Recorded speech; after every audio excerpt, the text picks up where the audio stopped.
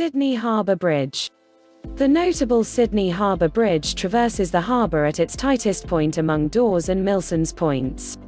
It's anything but a twofold pivoted, bolted steel curve connect with a built-up substantial deck and supported substantial arches and at the hour of its finish in 1932 it was viewed as the exemplification of current extension plan and designing resourcefulness. Early recommendations to connect the harbour. Recommendations to join the north and south sides of the harbour with a scaffold were first advanced in 1815 by convict engineer Francis Greenway. In the main portion of the 19th century, Sydney was conformed to Sydney Cove and later, as the populace developed, it created around the harbour and its feeders toward the north, west and south. European settlement on the northern side of the harbour started decisively after 1814, following a land award to ex-convict Billy Blue, who started the main ship administration across the harbour before long. Watermen kept on giving entry toward the North Shore until the 1840s, when Sydney's first vehicular ship administration was set up among Dawes and Milsons Point. Vehicular and traveller ships kept on being a significant type of public vehicle on Sydney Harbour for the rest of the 19th century. Despite the fact that there had been various designs to fabricate a scaffold across the harbour all through the 19th century, none were figured it out. This was essentially on the grounds that it was expensive and in fact hard to assemble spans over huge, flowing territories of water like Sydney Harbour. Also, all through the 19th century, lumber had been the most predominant material for connect development in New South Wales, with sturdy brickwork and cast iron scaffolds saved for vigorously crossed courses, or for the railroads, as they were costly to work as far as both talented work and cost of materials pre-assembled steel and cement. The development of a scaffold across Sydney Harbour turned into a reality by the mid-20th century, with propels in Connect designing innovation universally, close by improvements in the nearby production of pre-assembled steel and supported cement. The upside of steel specifically, aside from its expense adequacy, was that it was sturdy and pliable enough to traverse wide-flowing waterways. The NSW government started to truly explore the chance of building a scaffold across the harbour at the turn of the 20th century. In 1900, the New South Wales government of the day campaigned for the proposed extension to be worked by a privately owned business. To this end, the Minister for Public Works required an overall rivalry for its plan and development and set up a warning board to survey the tenders. There were no triumphant passages for this opposition, be that as it may, as the details for the scaffold must be revamped. The opposition was resumed the next year with altered particulars. A plan by the Sydney-based architect Norman Selfe was declared the champ. In 1904 the undertaking was slowed down inconclusively when the public authority changed, leaving Selfe harshly baffled. Bradfield and Dorman Long & Co. The consummation of the Sydney Harbour Bridge was generally because of the endeavours of one man, the architect Dr. J. J. C. Bradfield. Bradfield's long contribution with the development of the Sydney Harbour Bridge started in 1903, when he was designated secretary to the warning block set to audit the scaffold tenders.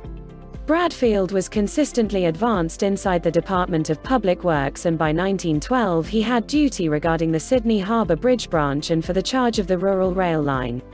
Bradfield's double obligations inside the office proposed that the bridge and Sydney's public vehicle framework were to be fundamentally connected. Bradfield consistently adjusted the plan of the Sydney Harbour Bridge from 1912 to 1929, regardless of the disturbances of World War I, 1914 to 1918, which decreased the quantities of his staff. By 1922 he had in the long run chosen a two-pivoted steel curve plan as the best scaffold for the harbour, essentially in view of its strength. The Sydney Harbour Bridge Act was passed and consented to on 24 November 1922. Under the Act, tenders were called to build an extension among Dawes and Milsons Point. Tenders were shut on 16 January 1924. The triumphant giver was the British designing firm of Dorman, Long & Co. The agreement was endorsed on 24 March 1924. One of the states of the delicate was that materials must be sourced and fabricated in NSW where conceivable. Stone for the wharfs and arches was quarried at Moruya on the NSW south coast, and a little more than a fifth of the steel was created in Australia. The rest of the steel was made in England. There is some discussion about who planned the bridge, inferable from the idea of the agreement between Dorman Long and the NSW government. Clearly Bradfield had a long relationship with the plan of the bridge however Ralph Freeman, as the counseling engineer for Dorman Long, additionally had guarantee to be the bridge creator. Freeman was answerable for finishing the last drawings under the details of the agreement. An unpleasant competition created between the two men. The development of the Sydney Harbour Bridge. The bridge required eight years to work, from 1925 to 1932, including the methodologies and supporting streets. More than 2,000 individuals were utilized to chip away at the extension, including engineers, boilermakers, ironworkers and stonemasons. Albeit the specialists were predominantly Australian, the labour force had a global character, with gifted workers, like stonemasons and ironworkers, brought from abroad. Sixteen men passed on while chipping away at the scaffold, and mishaps at work were regular, because of the perilous idea of the work. For instance, the work of the bolt cooker included tossing intensely hot bolts to the bolt catchers, who got the bolts in pails and afterward pounded them into place. Nevertheless, bridge labourers got moderately great wages and conditions, and albeit the associations were careful, there was negligible modern activity in the eight years it took to finish the bridge. In September 1930, the meticulous work to situate the pre-assembled matrices, supports and plates into place took care of when the curve was flawlessly joined. The street deck was laid before long, and work started on building the arches, which anchor the bridge at one or the flip side. The bridge arches were confronted with stone, as a gesture to more customary extension plan. By February 1932, the bridge was finished. That month, the strength of the deck was tried with 96 trains laid start to finish along the rail line tracks on the eastern side of the bridge. The Sydney Harbour Bridge was a huge endeavour, as far as both designing resourcefulness and monetary cost. Its finish in 1932 addressed global advances in connect innovation in the mid 20th century. The initial function, and the shameful disturbance. The NSW Premier of the day, Jack Lang, authoritatively opened the Sydney Harbour Bridge on 19 March 1932. The initial function was broadly upset when Francis de Groot, an individual from the extremist, against Lang New Guard, rode across the bridge riding a horse and cut the lace with a blade. After de Groot was removed by the police the formal strip was held set up and Lang cut it, pronouncing the bridge open.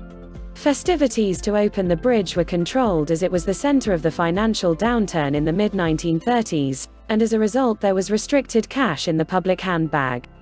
However the general population were overpowering eager about the culmination of the bridge, with more than 750,000 individuals coating the roads and harbour to watch the opening and resulting pomp.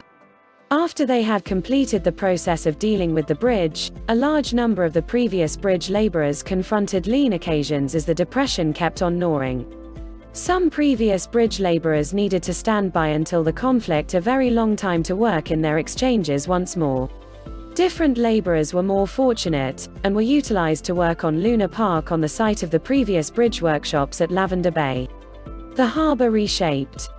Development of the bridge was paid for at first by a duty, and later by a cost that keeps on being collected today for bridge support. The southern arch is arranged on Dawes Point, which was the site of the previous guards for Sydney Harbour. A portion of these structures were utilised as the Dorman Long workplaces during bridge development and were subsequently crushed to clear a path for the bridge. The bridge approaches carve a wrap through the neighbourhoods on one or the other side of the harbour, most fundamentally the Rocks and North Sydney. In spite of the fact that Bradfield imagined that the bridge would be a fundamental piece of Sydney's public vehicle framework, with arrangement for trains and cable cars, the ascent of the motorcar all through the 20th century implied that street transport across the harbour turned out to be progressively predominant. Development started on the Cahill Expressway during the 1950s, which again saw the cutting up of suburbia encompass the bridge approaches on the southern side of the harbour. The development of the Warringah Expressway during the 1960s comparably affected rural areas on the North Shore. In 1992, the harbour tunnel was finished to decrease crossing time and gridlock for vehicle clients.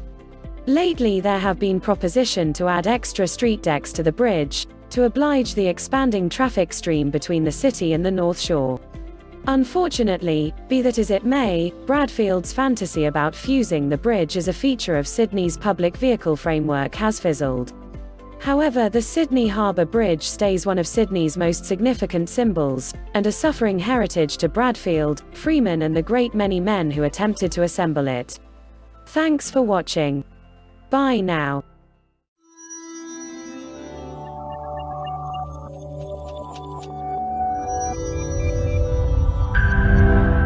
If you enjoyed this video be sure to give it a like and subscribe to Life is often if you haven't already click the bell icon to stay updated on all our latest content.